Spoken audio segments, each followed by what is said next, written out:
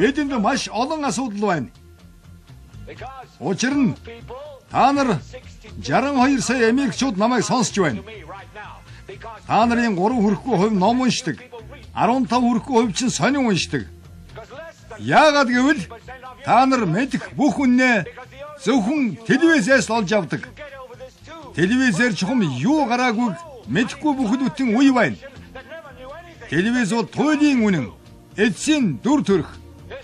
Телевиз ерөнхийлөгч Ромын пап ерөнхий сайдыг бий болгож бас үгүй хийж чадна.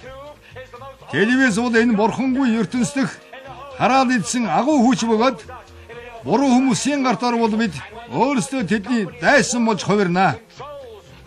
Аль нэг том компани энэ хараад идсэн ухуулга сурталчилгааны агуу хүчийг эзэмшиж байхад чухам юуг үнэн болгож айл бүрт телевизээр дамжуулахыг энэ бурхангүй ертөнцид хэн хэлж мэт юм бэ?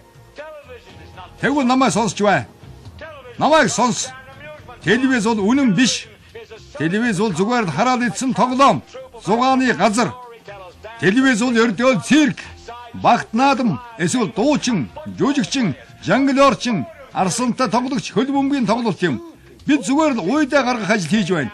Харин та нар тэнд суугаад л хүүхэд төгшөдөггүй, арьс өнгө, шашин шүтлэг ялгадаггүйгээр өдөржин шүнжин үдсээр л байна.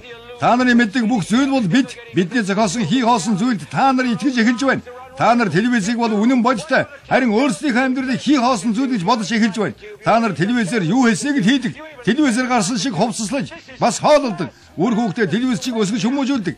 Яг телевиз чиг бодож сэтгэдэг. Энэ бол солиор тэнгүүдэ. Бурхны нэрийг барьж хэлий. Та нар өөрсдөө бодтой зүйл нь харин бид бол хоосон зүйл.